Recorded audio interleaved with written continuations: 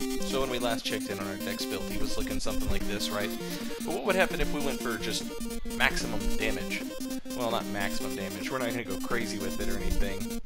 But, you know, what if we just increase dexterity? How do you like me now, Dad? How do you like me now, Dad? How do you like me now, Dad? How do you like me? No, I'm, I'm just playing. It's not, it's not really going to look like that. Welcome to the world the bidexual. I say that because uh, instead of the typical 40, we've almost got 80 fucking points in dexterity with this build right now, um, which is just absolutely ludicrous. Uh, you can see the damage is nigh on fucking retarded. Sharp infused dagger, backstab, 813 hit points, and that's all that guy had. Like we we might have been able to do more.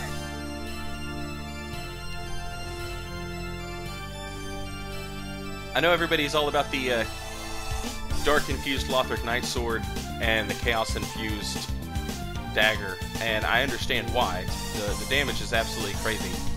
But 70 dex ish in that range, um, also not bad for damage. That was a botched attempt at a backstab there. Um, but yeah, we're, we're bidexual because we've put basically 40-40 into all decks. Um, yeah, you can see 236 damage with an R1 on a straight sword, 236 damage. I have great swords that don't do that much damage on strength builds. It's insane. Having that kind of damage output on a straight sword, that's like borderline fucking broke. Like I said, I know everybody's all about the dark and chaos, and the dark makes sense because no one has dark defense except for pyromancers. Uh, and the chaos dagger having that broke ass critical, uh, that's self-explanatory. Um, but this is plenty good. Plenty good. 70 dex, plenty good. I make a mistake here. Whip out the falchion, thinking it's my dagger. I knew I wanted to show off the falchion a little bit in these invasions, so I went ahead and equipped it. Um, but in this narrow-ass hallway corridor thing, what I was looking for was the backstab with the dagger. Uh, and then I see these two are both using big weapons. Uh, one's got the glaive, one's got the great sword, the ultra version. So I don't want to be too close to this for too long. This is basically just asking to get stun locked to death. So I did a bit of damage. Well, with this build, a fucking shit ton of damage. I did a shit ton of damage. Just a metric shit ton, which is larger than a standard shit ton. Now, one thing I forgot to take into consideration was I was going to need to switch to the Oni Slayer. I've still got the Millwood here, which I can't use anymore. I mean, I can use it, uh, as Lionel's about to find out. The weapon art works just fine. But I did switch over to the Oni Slayer. Um, however, we do get pretty good returns out of the Black Bow of Pharis. Now, keep in mind, look how far this distance is. Um, we're pinging him. We can annoy him from that far away, which is kind of nice. Uh, we're not going to, you know, do a 200 damage from that distance, but the fact that we can hit someone from that distance um, without aiming our shot any more than we have to, that's that's pretty impressive. Um, I know a lot of you guys uh, wish that the Dancer's twin swords were better. Um, y'all need to figure out what the fuck Harold's doing, because he does one move here. Lionel paying me back. Look at the damage. Boom! What the fuck was that?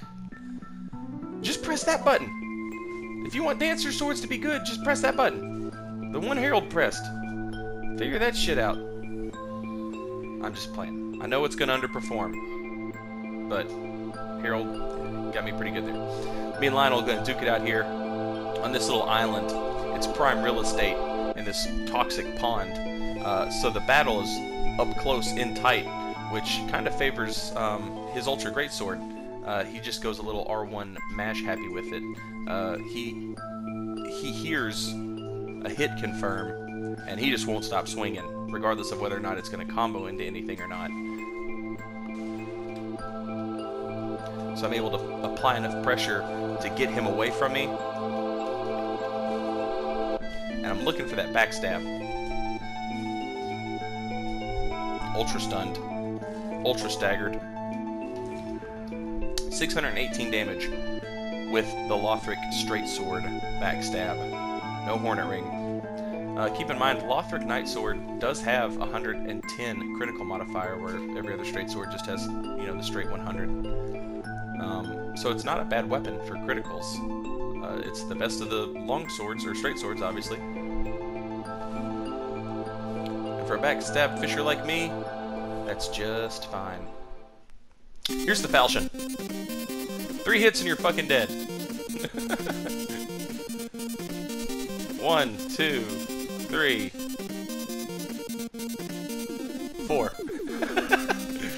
shout out to Schwa Kari. I'm going shieldless. And shout out to my boy Lautrec of Carim. With the Shotel. Showing firekeepers how it's done. Since 2013, boy. Boy.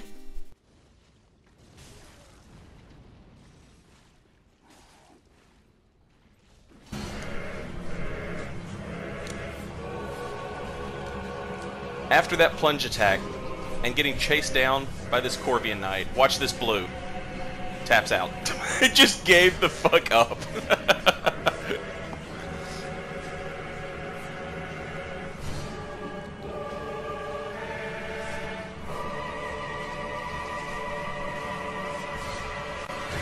I think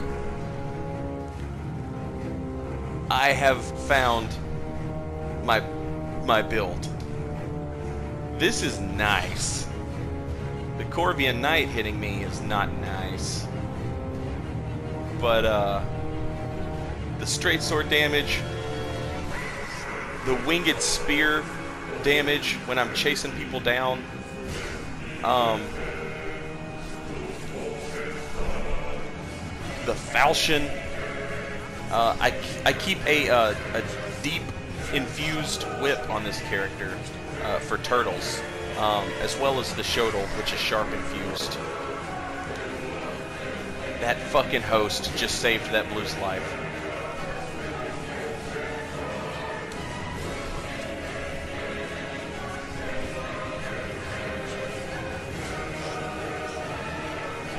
I know a lot of people, uh, they hate on the Falchion because it, it had that swing speed nerf but the damage on the thing is just so good.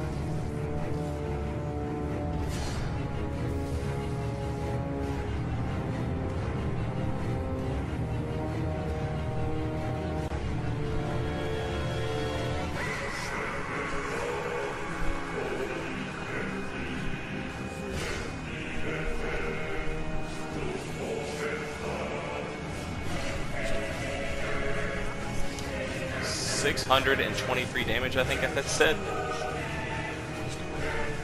And that was to break their tears. Just ludicrous. Move, bitch, get out the way, kind of ludicrous. Get back, motherfucker. You don't know me like that. Kind of ludicrous. So what happens when Straight Sword Jesus meets Elevator Jesus?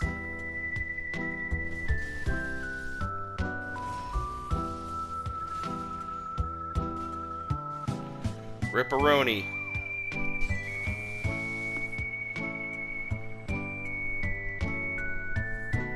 The Golden Shower Phantom, removed from the face of this earth by the Hornet Ring from the elevator guard break. I was proud of that. Shout out to Straight Sword Jesus, Roll Catch Jesus. Shout out to my man Shadow from Final Fantasy VI dog eats strangers. The straight sword eats roll spammers.